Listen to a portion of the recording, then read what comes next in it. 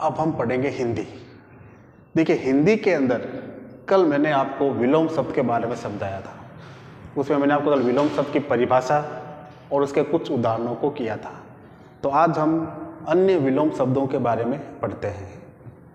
तो देखिए, सबसे पहले विलोम शब्द हम जो लिखते हैं, पहले शब्द है चतुर। क्या है? चतुर। अब चतुर का विपरीत अर्थ क्या होता है? चतुर तो होता है होशियार होशियार व्यक्ति को चतुर बोलते हैं। तो इसका विपरीत अर्थ, यानी विलोम शब्द होता है मूर्ख। क्या होता है? मूर्ख। यानी चतुर, इसका विलोम शब्द क्या हो जाएगा? मूर्ख। दूसरा, फिर हम दूसरा लिखते हैं कपूत। और इसका हो जाएगा सपूत। सपूत अच्छा बेटा और कपूत हो गया, गंदा लड़का। फिर काला काला का विलोम शब्द हो गया गोरा। काला का क्या हो गया? गोरा। इसी प्रकार से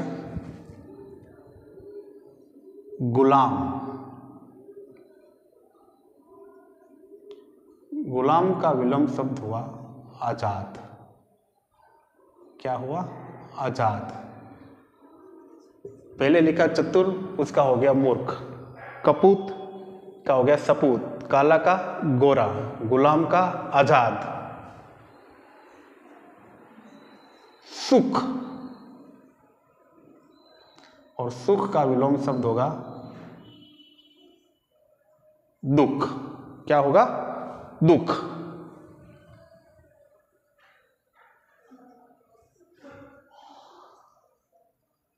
बड़ा बड़ा का विलोम शब्द छोटा। क्या होगा? छोटा। फिर है स्वर्ग स्वर्ग का क्या हो जाएगा? नर्क।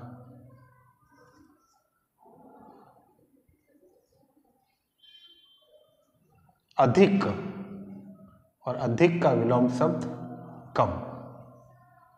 क्या होगा? कम। चतुर का विलोम शब्द मूर्ख, कपूत का सपूत, काला का गोरा, गुलाम, आज़ाद, सुख का विलोम शब्द दुख, बड़ा का छोटा, स्वर्ग का नर्क, और अधिक का कम।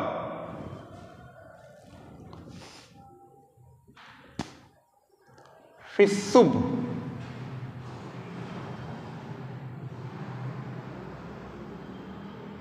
शुभ का अशुभ।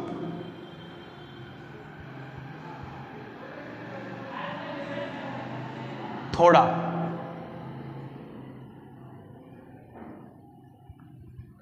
थोड़ा का क्या होगा? ज़्यादा।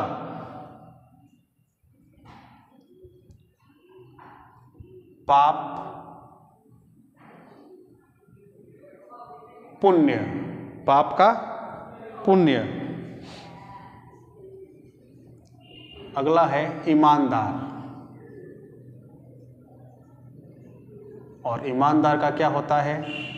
बेईमान।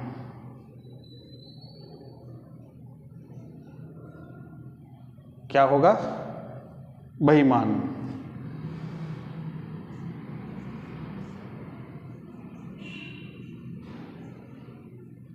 पुरस्कार।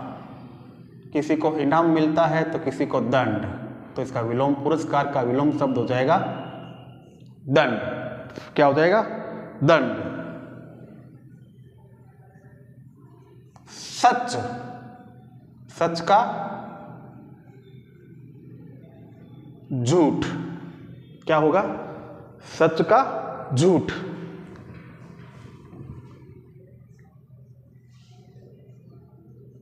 सुबह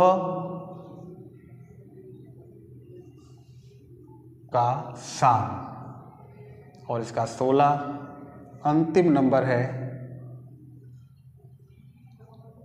अंदर और बाहर। अंदर, बाहर। तो कल हमने इसकी परिभाषा पढ़ी थी परिभाषा को समझा था और उसके कुछ उदाहरणों को किया था। आज हमने 16 विलोम शब्द लिखे हैं। इनको आप अपनी कॉपी में लिखिए और इनको याद कीजिए।